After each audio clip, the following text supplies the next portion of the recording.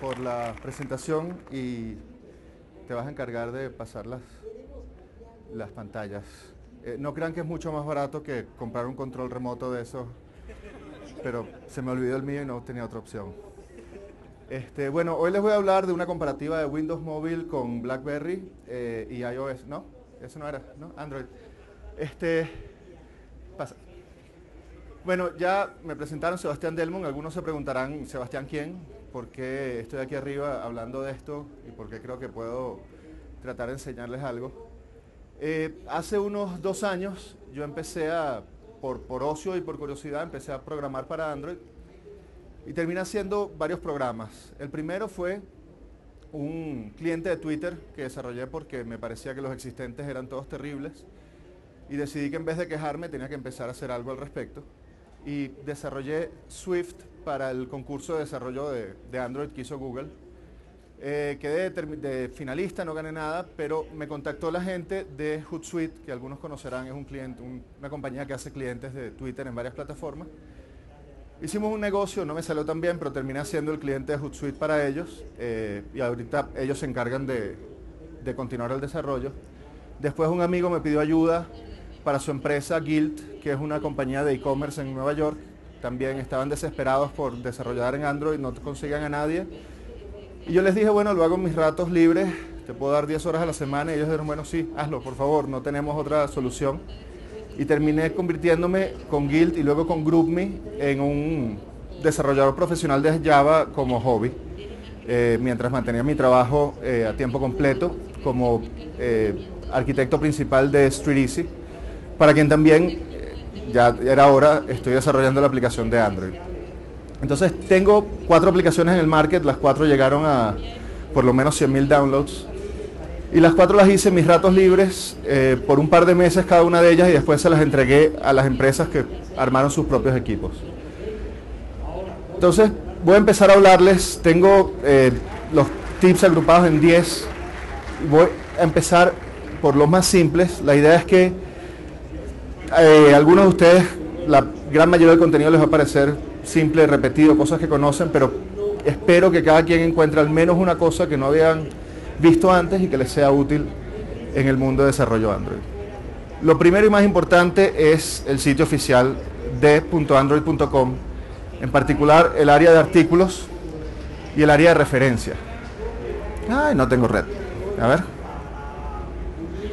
El área de artículos eh, la mantienen actualizada muy frecuentemente.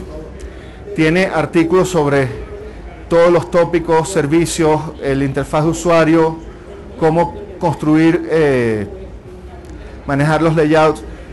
Si no tienen cualquier otra cosa que hacer, pónganse a leer todos estos artículos y ya con eso se ahorran tener que comprarse un libro de Android.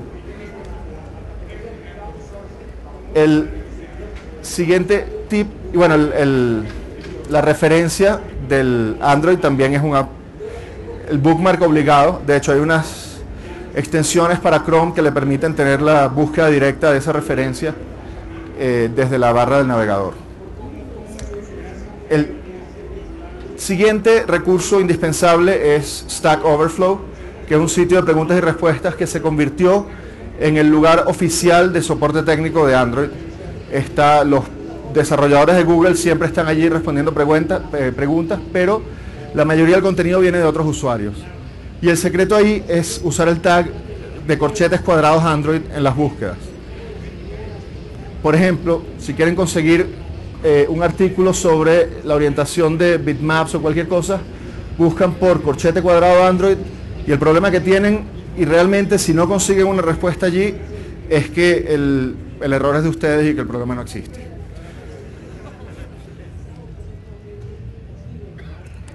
Siguiendo, la grandísima ventaja que tiene Android sobre, sobre las otras plataformas es que el código fuente está disponible. No hay nada mejor cuando quieren hacer algún tipo de aplicación que conseguir alguna aplicación que venga ya en el Android que haga algo similar. Si quieren saber cómo subir una imagen, cómo hacer una galería, cómo hacer scroll de lado, busquen alguna aplicación del, del Android estándar que haga algo similar y vayan a ver el código fuente. Si quieren saber cómo funciona la cámara, GitHub es una de las mejores formas de ver el código fuente de Android. Ellos tienen una copia eh, actualizada permanentemente. Y el navegador de código de GitHub es muy, muy bueno. Pueden ir pasando, ver el manifiesto, ver todo lo que hace la aplicación y ver cómo resuelven los problemas la gente de Google. Eh, como dicen, la copia es la mejor homenaje que pueden hacerle a alguien, en particular si tienen permiso para hacerlo. Otro ejemplo es si están teniendo problemas tratando de entender cómo funciona el linear layout, no saben si la gravedad funciona a la izquierda, a la derecha, cómo etcétera, vayan a la fuente, pasen media hora tratando de entenderla y van a salir mucho mejor preparados y van a entender cuál es la solución del problema. No, volver.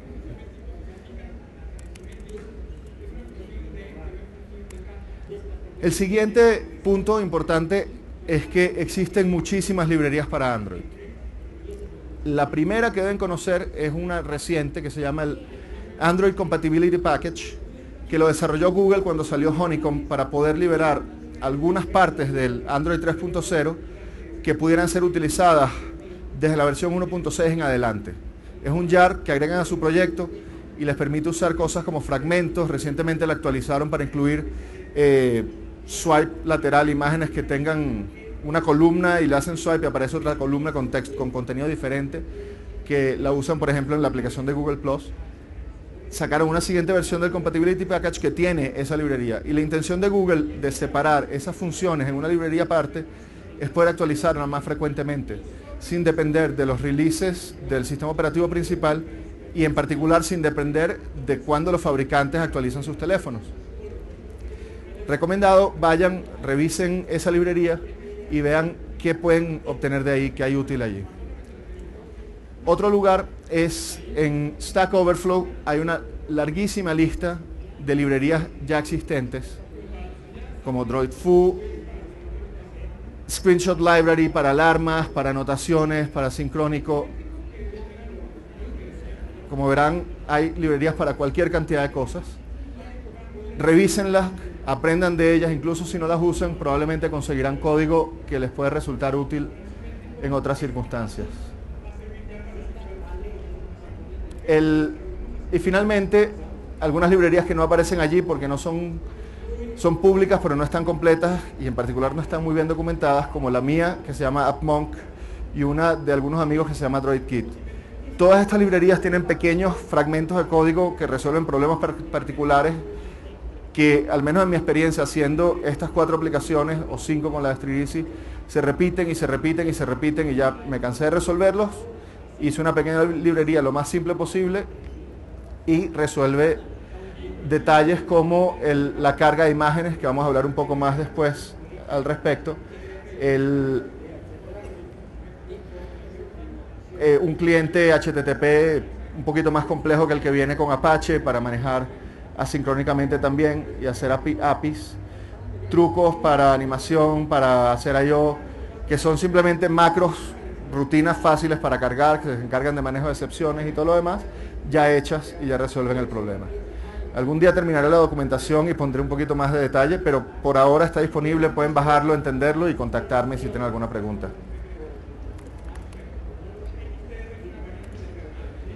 Punto número 3 es Eclipse. Es la herramienta principal para desarrollar para Android. Es muy importante que primero logren que sea lo más rápido posible. Y Eclipse, tal como viene de fábrica, es sumamente lento.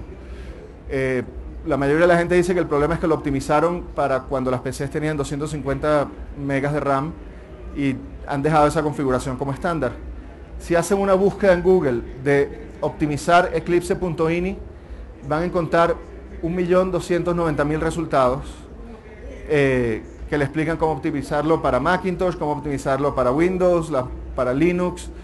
Básicamente es lo principal es aumentar el tamaño de memoria de los buffers que están limitados a 250 megas o a 128 megas.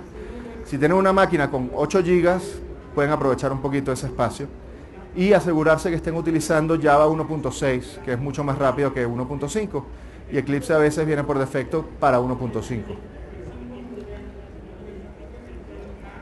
Lo otro importante en Eclipse es aprenderse los atajos de teclado. Ustedes seguramente pierden horas enteras tratando de buscar cuál es el archivo que están editando, tratando de regresar a donde estaban editando después de hacer un cambio. Yo tengo mis seis atajos favoritos que los están en la pantalla en este momento. Ahorita les voy a mostrar un poco cómo funcionan. Buscar referencias, abrir declaración, el outline, el quick access, open type y el run last launch. Empezando por el run last launch, por ejemplo. ¿Cuántas veces no están desarrollando, vienen, le dicen correr, seleccionan el dispositivo, le dicen OK para enviarlo? Con comando o control en Windows Shift F11, eh, Enter.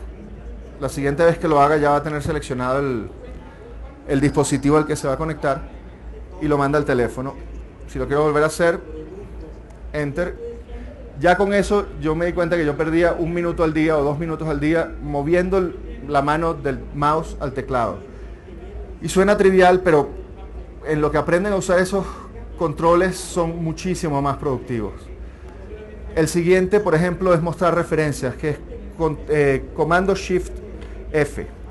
Si yo me paro en una función, puedo ver, comando Shift G, perdón, qué otras funciones hacen uso de ella.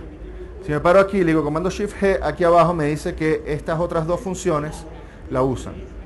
Cuando están tratando de entender cómo este, de, refactorizar un programa, de ver qué están haciendo, es muy útil saber quién usa una función en particular, para ver si la pueden cambiar o para ver cómo la están usando. A veces cuando están explorando el código de Android, esta es una de las formas más fáciles de ver cómo construyeron las aplicaciones otras personas. El siguiente es el F3. Si yo estoy parado aquí y le doy F3, él me lleva a donde está definida la función. Es otra cuestión, uno pasa muchísimo tiempo yendo de donde se define la función a donde se usa, de donde se define a donde se usa, y esos par de atajos ya por sí ayuda muchísimo. Otro es el comando O, que le da un quick outline del archivo que estoy viendo. Me da la lista de métodos definido en este archivo. Y no, la idea incluso no es ahorita pasar al ratón y buscar el método que busco, sino escribir las primeras letras y bajo al que busco y ya estoy donde estaba. De nuevo, un par de segundos ahorrados haciendo scroll, al día terminan pasando 15 minutos perdidos buscando los métodos que eran o que no eran. El comando Shift T le permite buscar un método, una clase en todos los proyectos.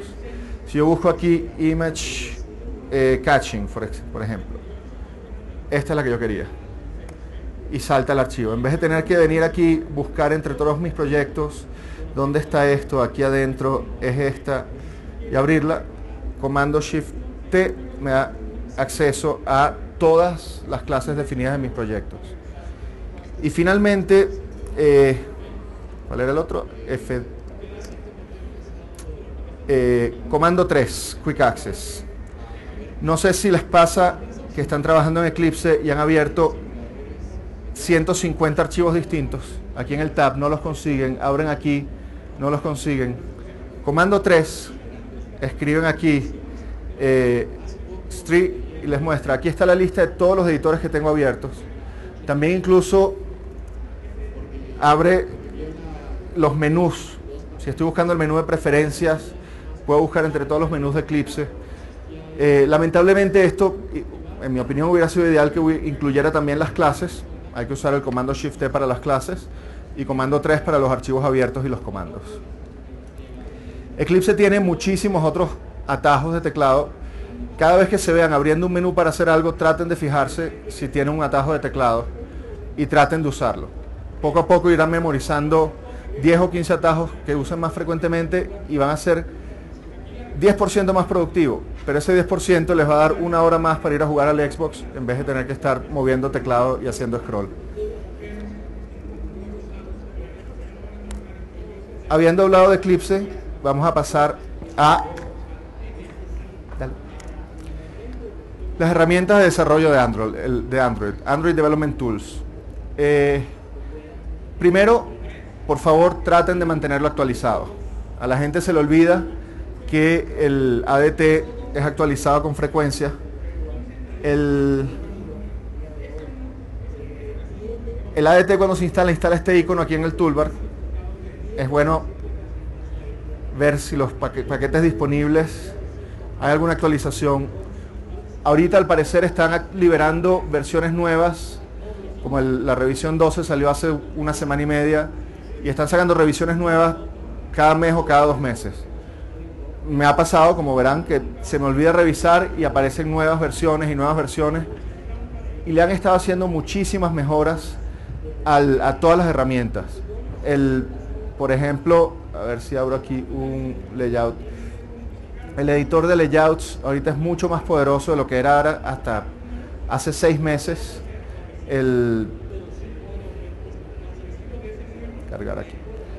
Permite, yo antes editaba todos los layouts en XML porque era, me parecía una pérdida de tiempo usar el editor de layouts. Hoy en día permite ver con el Android cómo se ve el layout en distintas versiones de Android, cómo se ve en Portrait. Cuando modifican la posición del objeto, puede hacer layouts relativos, ajustando todas las dependencias entre los elementos, que es algo que antes, hasta hace dos semanas, no podían hacer. Entonces, exploren todas esas posibilidades y en particular lo que llaman DDMS, la consola de debugging y de monitoreo de las aplicaciones. Aquí yo estoy conectado a mi teléfono, a ver si me muestra algo. no quiere mostrar.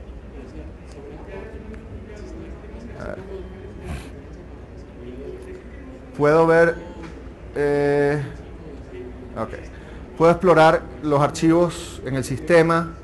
Puedo ver la alocación de memoria, los threads corriendo. No sé por qué no puedo ver los procesos. Eh, normalmente aquí listaría todos los procesos activos. Te permite ver el logcat que es la forma más común para hacer debugging de las aplicaciones en Android, es escribir cosas en el log ir viendo cómo aparecen aquí.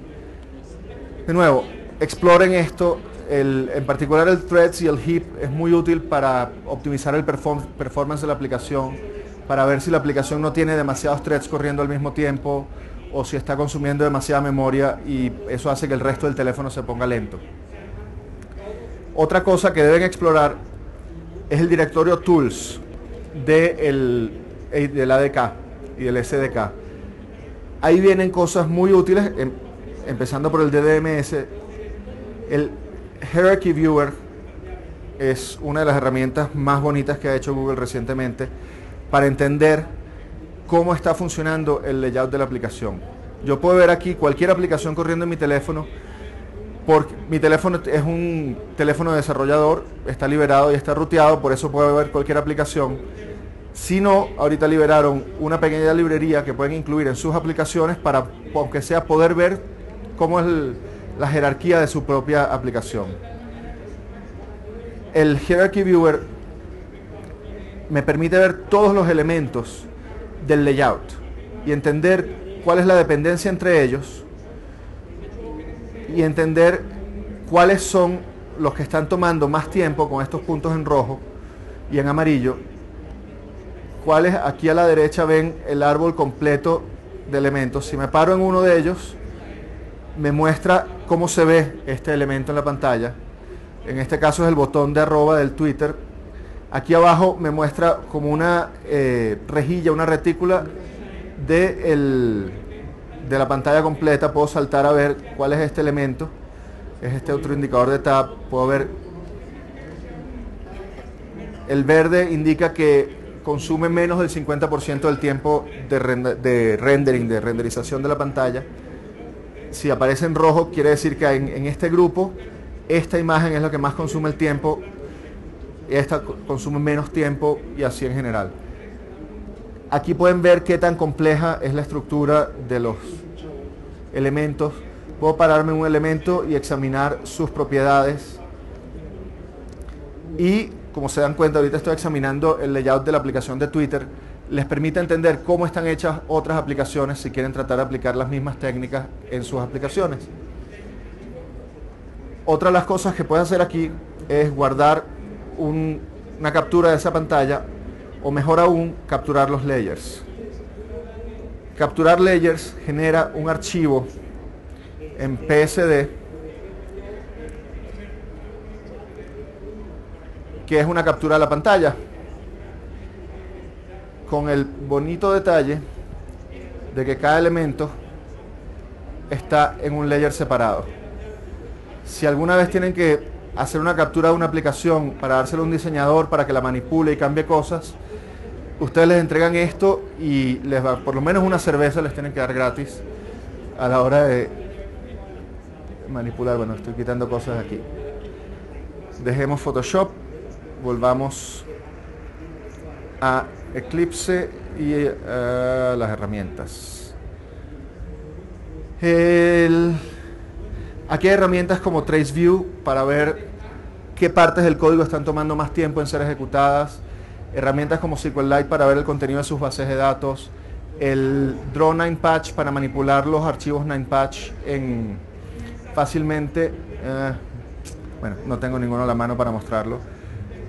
Y si han usado estas herramientas en los últimos seis meses o más, de nuevo, actualicen, vuelvan a verlas, porque Google las está desarrollando y mejorando muy, muy rápido.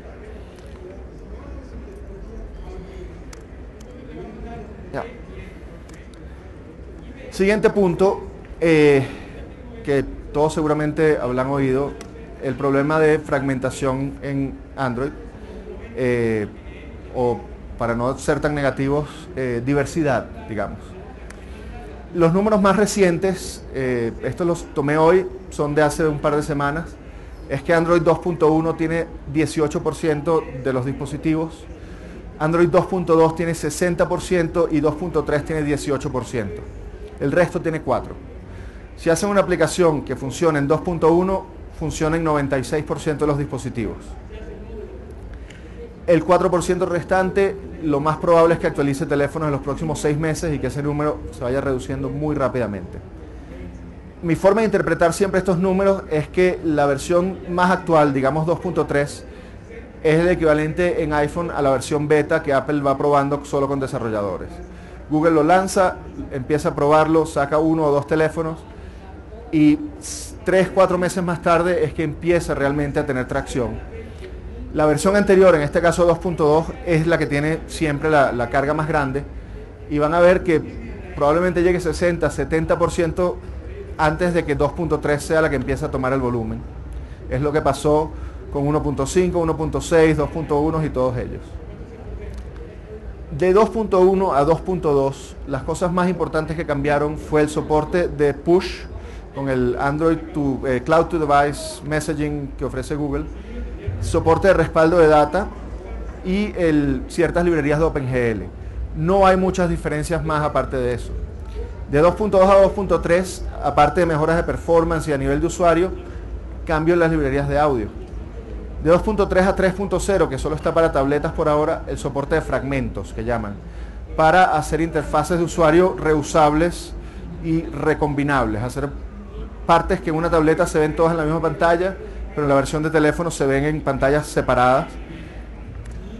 Fragments está en el Compatibility Package. Ustedes pueden desarrollar aplicaciones hoy en día usando fragmentos en 2.1 con esa librería y usar el mismo código para 3.0 en si quieren hacer una versión de tableta.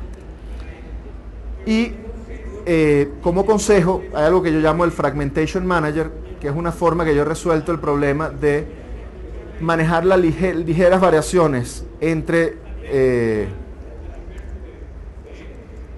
distintas versiones de Android para ciertas llamadas. Hago una gran clase que llamo Fragmentation Manager, que tiene clases adentro, llamada por ejemplo Cupcake o mejor, y tiene ciertos métodos que necesito para mi aplicación. Obtener el componente de la imagen, el nombre de la actividad de imágenes, o obtener las opciones de imágenes. Tengo una clase cupcake, una clase donut o, o mejor que redefine la, llamada de eh, opciones para imágenes, una clase para Donut, una clase para Eclair, una clase para Froyo, y así voy agregando. Y luego tengo una clase principal llamada Fragmentation Manager con un método actual, que dependiendo de la versión que estoy corriendo, usa una de las clases. Como solo una de estas clases se carga en memoria y se compila en, el dispositivo, dependiendo de la versión, nunca voy a obtener un error de sintaxis o un error de método inválido, como hubiera obtenido si trato de accesar este atributo del bitmap factory options en una versión anterior a Donut, por ejemplo. Entonces, es una clase, agrega un poquito de complicación, pero no mucho, y les permite manejar cualquier diferencia significativa entre distintas versiones. Eh, esta clase la voy a incluir en el, en el archivo final de la presentación que va a estar disponible en el sitio de, de la campus.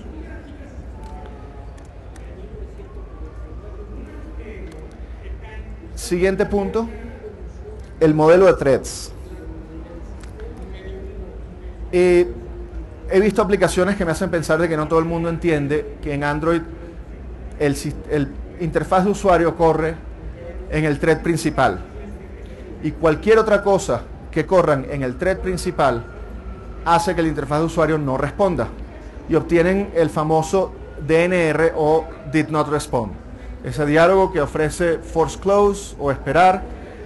Eso sucede porque empezaron a bajar un archivo de internet o empezaron a hacer alguna operación y en el mismo thread de la interfaz de usuario. Si quieren que su aplicación tenga un rendimiento decente, toda, toda operación que no tenga que ver con la interfaz de usuario y en particular toda operación que toque archivos, que toque bases de datos o que toque la red, tienen que hacerla en un thread separado. Cualquier otra cualquier operación que hagan en el thread de interfaz de usuario va a hacer que la aplicación se sienta lenta, que se sienta que salta, que brinca, que no es fluida y va a hacer que corran el riesgo de que tengan el force close. La forma de manejar eso, eh, hay múltiples. Google ofrece la clase async task que permite definir fácilmente un método que va a ser corrido en un segundo thread y que cuando termine va a, actualizar el thread del interfaz de usuario. Eh, yo redefiní, hice mi propia variación de esa clase porque quería tener más control de tener múltiples colas, alguna una cola para procesos de eh, carga de datos, otra cola para actualizar los datos en la pantalla, una cola para los datos de lo que voy a mostrar en ese momento versus actualizar cosas en el en batch que no tiene que ser tan rápido. Vean a Syntask, entiendan cómo funcionan porque van a tener que usarla todo el tiempo. Otra eh, opción para manejar eh, tasks y threads separados son los servicios. Una aplicación Android puede tener una actividad corriendo con su thread principal y un servicio corriendo en el background, que es otro thread sin interfaz de usuario. El servicio tiene su propio thread. Cualquier proceso en el servicio que vaya a cargar red, igual tiene que correr en, un, en otro thread separado. El thread principal del servicio está esperando atender solicitudes que vengan de la aplicación principal o de otras aplicaciones. Tienen que estar asegurados de que ese thread esté listo para recibir esas solicitudes. El usuario no recibe un mensaje de error si tarda mucho, pero puede hacer que la respuesta de la aplicación sea mucho más lenta, puede hacer que su aplicación se pierda actualizaciones cuando viene una notificación del sistema operativo o cosas parecidas. Y por último, usar los intents dentro de su aplicación, usar los broadcasts. Por ejemplo, si su aplicación va a buscar data de internet para mostrarle al usuario, el thread principal puede mandar una solicitud al servicio. El servicio arranca otro thread donde se, busca la información y cuando la recibe manda un broadcast diciendo al que esté interesado, aquí está la versión más nueva de la información. Eso es un poco más eficiente que usar una syntask porque la syntask está amarrado a la actividad actual. Si el usuario está viendo la actividad actual, le da un botón y eso salta a otra actividad, la carga de datos que estaba en el fondo se pierde. Si el usuario cambia de actividad, la carga de datos se hace en un servicio que a su vez envía una notificación. Cualquier actividad actual que esté mostrando puede actualizar lo que está mostrando en base a esa información nueva. Entonces, resumiendo, todo usando threads en paralelo, bien con Asytask o con alguna alternativa similar, preferiblemente en un servicio aparte, preferiblemente notificando con intents al thread del sistema de, de la interfaz de usuario cuando la información ha sido recibida. Y por último, un pequeño truco que me dijo un amigo, si quieren asegurarse que el thread del servicio no va a ser matado por el sistema operativo en caso de que la memoria se esté quedando corta o en caso de que la batería esté baja, por ejemplo, si están subiendo algo a internet, una imagen grande, y quieren asegurarse de que no se pierda, tienen que mostrar una notificación. Cuando un servicio está asociado a una notificación, el sistema operativo lo mata de último. Entonces, por eso ven algunas aplicaciones que dicen subiendo cuando no era necesario. Yo sé que está enviando mi tweet, no, me importa saberlo porque la actualización no es tan relevante. Al estar eso allí, eso se asegura de que la aplicación nunca va a ser matada por el sistema. Punto 7. Archivos. Eh, la mayoría de las aplicaciones utilizan data y la tienen que guardar en algún lugar. Las aplicaciones en Android tienen todas su directorio propio en la memoria interna del teléfono y si lo solicitan en los permisos del, del manifiesto, tienen acceso a la tarjeta de memoria externa de ampliación eh, y si su aplicación requiere la tarjeta de memoria externa de ampliación y no quieren pasar una hora tratando de entender por qué el programa no funciona y haciendo trace de todos los métodos uno tras otro para entender por qué no funciona, por qué, por qué, por qué coño no funciona, asegúrense que tienen el permiso de escribir a la tarjeta externa. En el tipo de aplicaciones que van en la memoria, el tipo de información que va en la memoria interna, generalmente son archivos pequeños y archivos privados no pongan nunca en el espacio externo el log del GPS del usuario, no pongan nunca en el espacio externo los passwords del usuario, porque es trivial para cualquier aplicación revisar los archivos en la tarjeta de memoria del teléfono. Es muy difícil para una aplicación revisar los archivos en la memoria interna. Si está ruteada, tiene acceso, pero si no es ruteada, las aplicaciones se protegen entre ellas y están separadas mantengan todo lo que es información eh, privada en la memoria interna y usen la memoria externa como caché de imágenes, componentes grandes de la aplicación, etcétera, etcétera. Y si van a usar la memoria externa, por favor, sigan la convención de Android de ponerla en el directorio SDK Android Data y allí dentro un directorio con el nombre de la aplicación. No lo pongan como hacen el 80% de las aplicaciones en la raíz de la tarjeta de memoria. No sé si cualquiera de ustedes examina su teléfono hoy en día, tiene 80 directorios allí que no sabe de qué son y no sabe para qué sirve, y que después de desinstalar la aplicación el directorio sigue allí. A partir de 2.2, eh, Android elimina ese directorio dentro de Android Data cuando desinstala la aplicación, por ejemplo. Y a partir de 2.2 hay un método llamado getExternalFilesDir que les devuelve el directorio en SDK que corresponde a su aplicación se asegura que exista y de crearlo si es necesario. Si no, si están en, 2.1 o, o, más viejo, tienen que hacer su propio método para revisar que el directorio existe y que construirlo. Siguiente ruego, por favor, por favor, por favor, pongan un directorio, un archivo llamado .no media en cada directorio que creen. Si no está ese archivo, Android piensa que el directorio que tienen tiene fotos o música que el usuario quiere ver y lo incorpora en la galería. Muchas veces les habrá pasado que instalan algún programa y de repente en la galería les aparece una nueva carpeta con todos los iconos de sus amigos de Facebook que no saben por qué Carrizo apareció allí. Alguien en Facebook creó el directorio y no le puso el punto no media adentro. Si tienen una aplicación que se comporta mal así, ustedes mismos pueden ir a la tarjeta de memoria y crear ese directorio y desaparece. Pero como desarrolladores, por favor, por favor, por favor, creen ese directorio. Punto 8, el manejo de configuraciones. Eh, cualquier desarrollador de Android conoce que pueden tener layouts diferentes para orientación vertical, horizontal, para alta densidad, para baja densidad, para media densidad, por distintos idiomas, por distintas versiones y muchísimas otras variedades. Lo que mucha gente no sabe es que el comportamiento por defecto de Android es que la actividad de una aplicación va a ser reiniciada con cualquier cambio de configuración.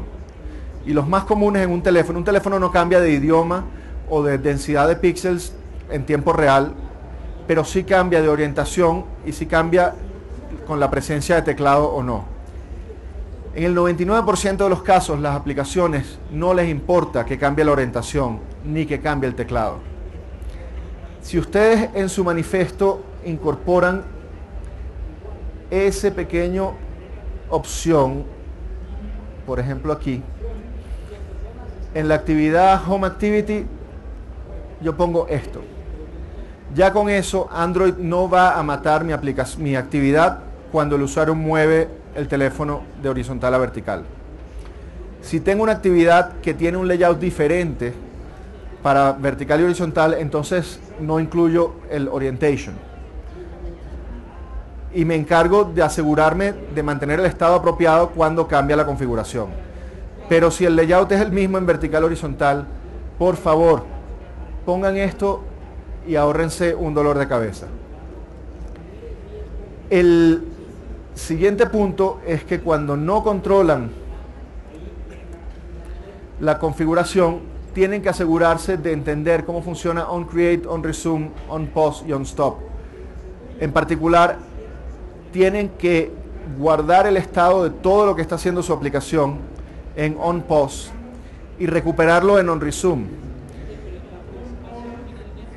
una de mis eh, pruebas favoritas para aplicaciones cada vez que instalo una aplicación nueva, si la aplicación me muestra un diálogo diciendo estoy subiendo o por favor introduzca su nombre o cualquier cosa, y yo volteo el teléfono y desaparece el diálogo, es porque no se encargaron de, ese cambio de configuración y no restauraron el diálogo en el on, resume on pause. Y cuando me refiero a restaurar el diálogo, depende mucho del, código de la aplicación. Entender si la aplicación está haciendo en un thread en el background, por ejemplo, con un async task, la nueva aplicación no es la misma que lanzó el async y se va a perder el mensaje de respuesta. Si la aplicación estaba subiendo un archivo, a veces le cambian la orientación y para la subida del archivo se olvidó de que ustedes estaban subiéndolo y eso es un gran dolor de cabeza, sobre todo cuando uno está tratando de subir una foto mientras va caminando y accidentalmente la tropieza y desaparece la foto. Eh, uno de los métodos con nombres más largos en Android, el onRetain Non-Configuration Instance y GetLast Non-Configuration Instance, les permite cuando una actividad está a punto de ser liquidada para ser reiniciada con una nueva configuración, devolver cualquier valor que quieran en el onRetain y el onResume de la siguiente instancia puede llamar al GetLast y va a obtener la misma información que tenían. Ese es el lugar ideal para guardar cuál era la posición del scroll que estaba mostrando, cuál era el diálogo que estaba mostrando, si estaba mostrando alguno, cuál era el texto dentro del diálogo que estaba escribiendo el usuario cuando se paralizó la aplicación. El onRetain se tiene que encargar de capturar toda esa información, guardarla en algún tipo de objeto y el onResume tiene que encargarse de recuperar ese estado con ese tipo de objeto. Y finalmente, en configuraciones, otra de mis pruebas favoritas es el preservar la posición del scroll. Y una de las aplicaciones más recientes que he visto que falla en ese caso es, por ejemplo, Google Plus. Si ustedes toman la aplicación de Google Plus, le hacen un poquito de scroll, la giran, el scroll se vuelve al tope de la lista. No se queda en donde uno estaba. Si activan cualquier botón para ir a alguna actividad y regresan, vuelve al tope de la lista. No se queda donde uno estaba. Y preservar el scroll depende mucho del cómo es el contenido de la lista, cómo está estructurado.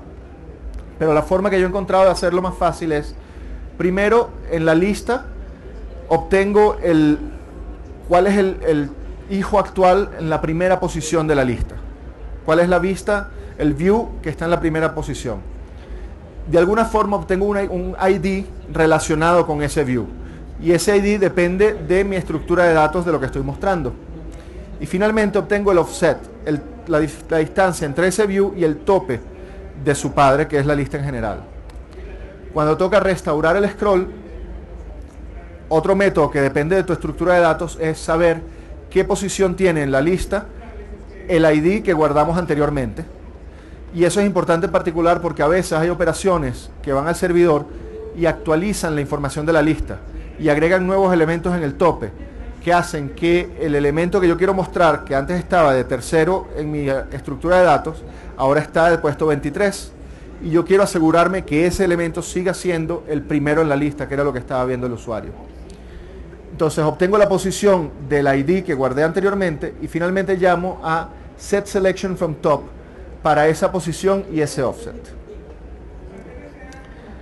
Y hablando de listas, eh, otro de mis eh, temas favoritos tiene que ver con el manejo de las imágenes, eh, cómo cargarlas, cómo hacer la sincronía y cómo actualizarlas. Aquí tengo un screenshot de la aplicación de Twitter antes de cargar las imágenes. El proceso básico y típico es ir a internet y traer el JPEG y ponerlo en donde toca mostrar la imagen. Si yo trato de hacer eso mientras actualizo la lista en el mismo thread del sistema del, interfaz, la lista no funciona, mi aplicación va a ser eh, matada automáticamente en lo que trate de abrir la segunda imagen. Entonces, ese proceso de traer la imagen de la nube y actualizarla en el view tiene que ser asíncrono. Pero es muy poco eficiente. La mayoría de las veces esas imágenes son reusadas todo el tiempo en la misma lista. Entonces hay que guardarla en un caché en, la tarjeta de memoria, recordando que va en Android Data el nombre de la aplicación y con un directorio no media, por favor. Eh, perdónenme la redundancia. Entonces el siguiente paso es hacer una tarea síncrona que baja la imagen a disco y que cuando la tiene la actualiza en el, en el view.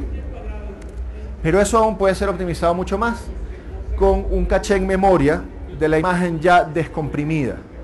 El bitmap del JPEG es una operación que toma tiempo.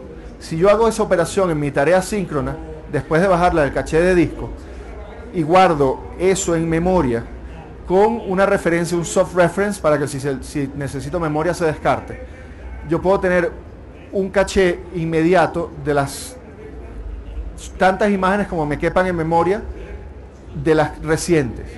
Y eso es importante porque cuando uno está haciendo un fling o está haciendo scroll, solo debe cargar imágenes que vengan de ese caché de memoria.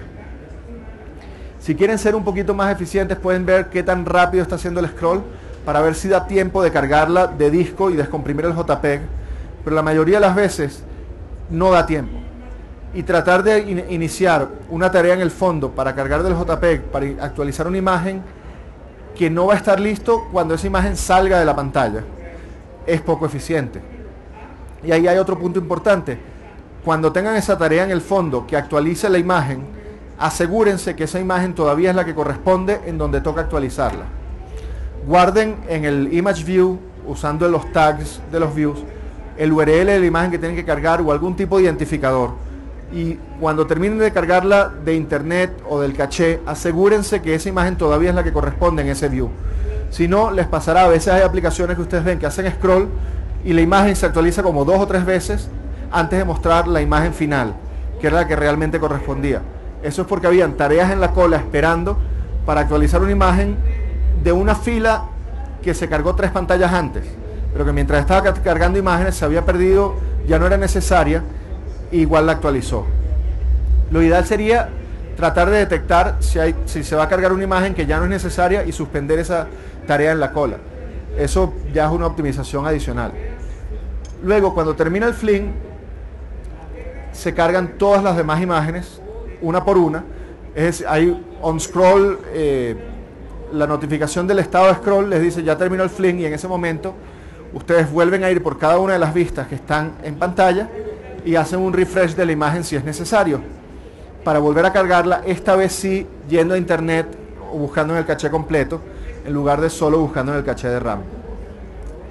Y otro de los temas que fallan y de nuevo Google Plus tiene este mismo error, es que cuando están haciendo el fling y deciden no cargar la, imagen porque la tienen que traer de la red y no la tienen en el caché local, pongan una imagen en gris, como la que se ve ahí en la línea de modulor en, en la parte de abajo de la pantalla.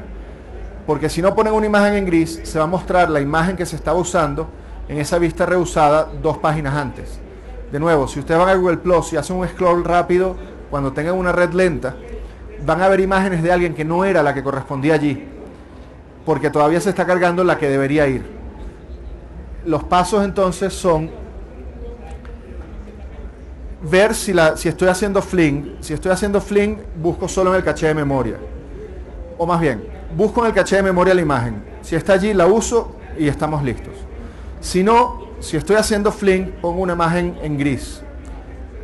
Si, si no estoy en fling, busco en el caché de disco. Si está en el caché de disco, no pongo imagen en gris, sino la cargo de disco. Si no está en el caché de disco, voy a internet y la actualizo. Pongo una imagen en gris y voy a internet y la actualizo. Con esos pasos van a tener una lista que se va a comportar muchísimo mejor que la de muchas aplicaciones. Va a ser, el, el scroll va a ser más suave, va a ser mucho más eficiente.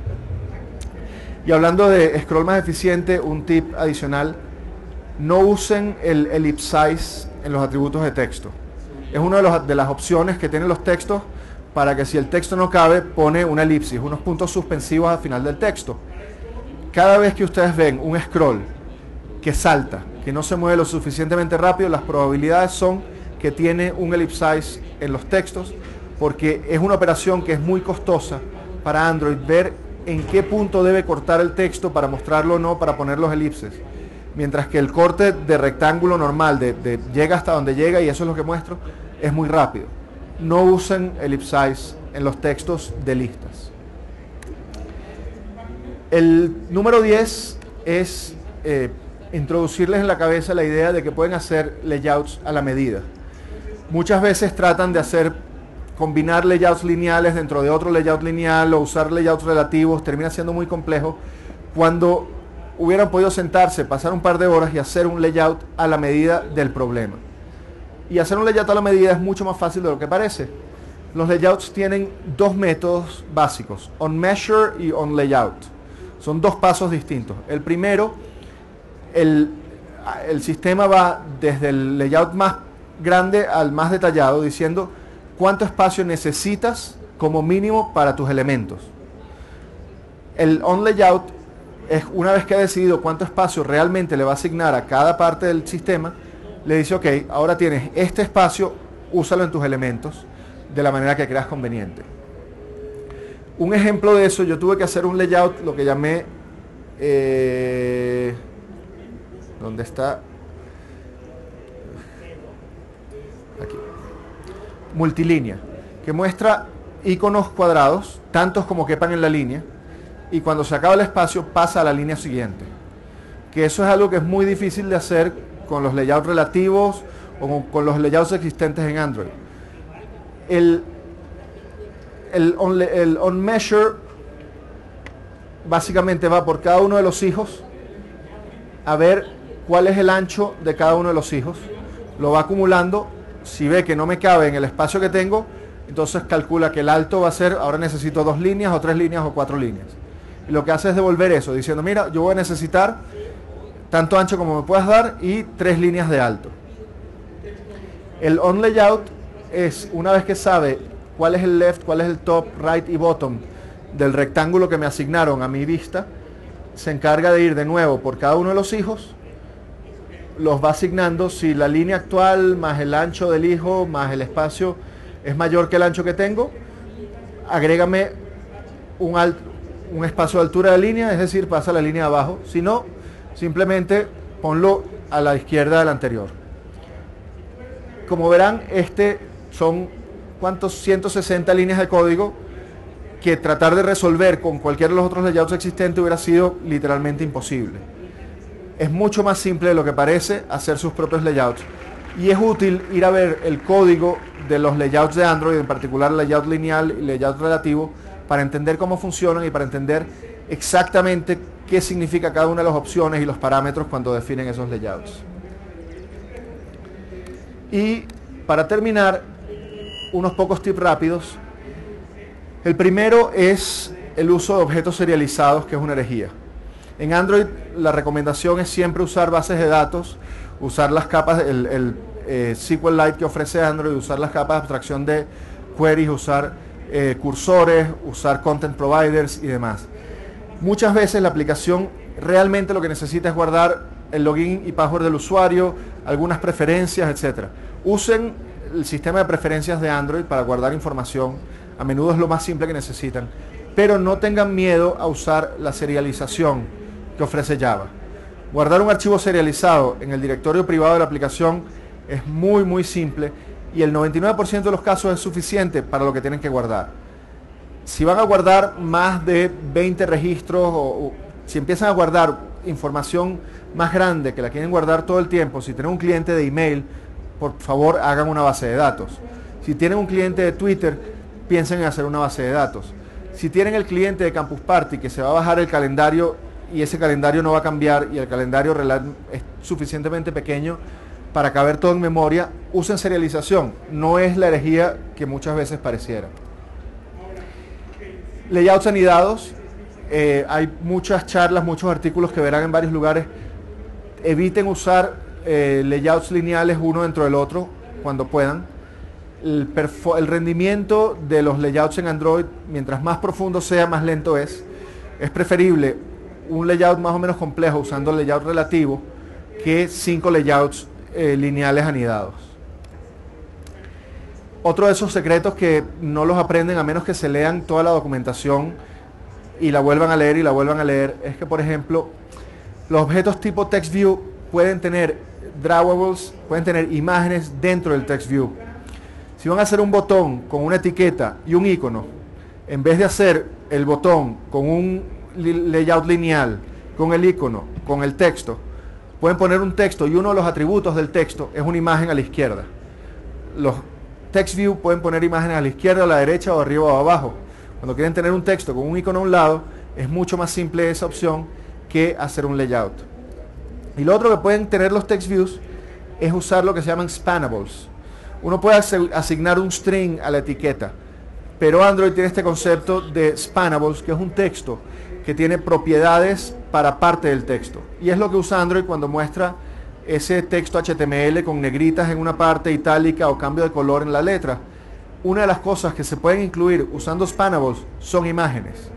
Ustedes pueden hacer un chat con smileys, con sonrisas, usando Spanable para asignar las imágenes dentro del chat, sin tener que complicarse con un layout que tenga los fragmentos de texto que divida, etcétera. Les recomiendo que se lean la documentación de TextView y en particular la documentación de Spanables para entender cómo funciona eso.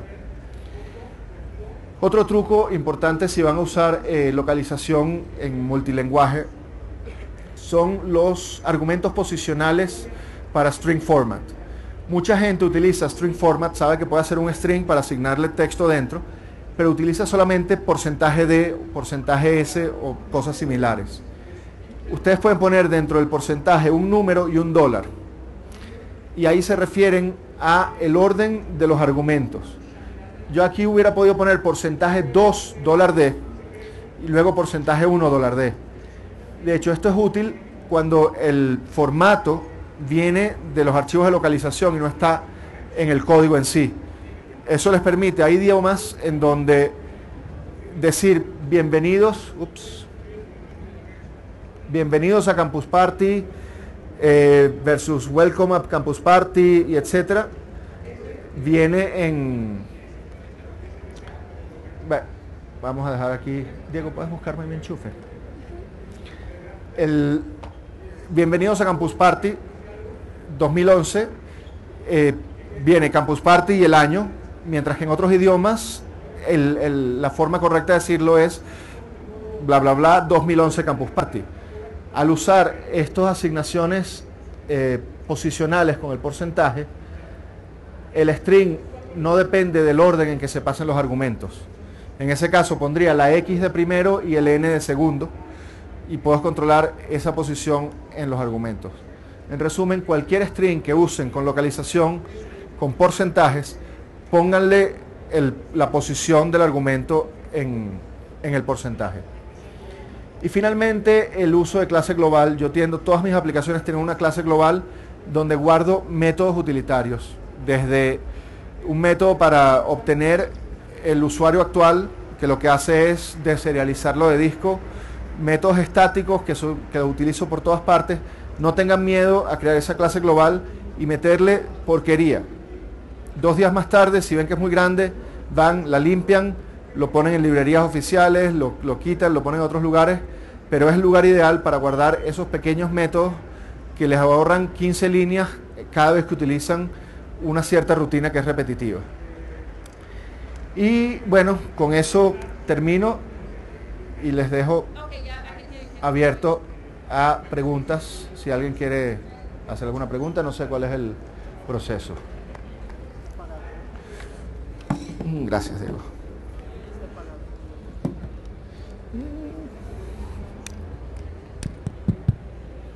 Ok, ¿quién tiene